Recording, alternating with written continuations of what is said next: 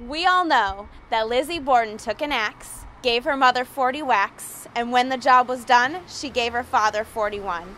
We're here today at the Lizzie Borden Bed and Breakfast Museum in Fall River to see where the gruesome murders took place. It is here on August 4th, 1892, that the bodies of Mr. and Mrs. Borden were found.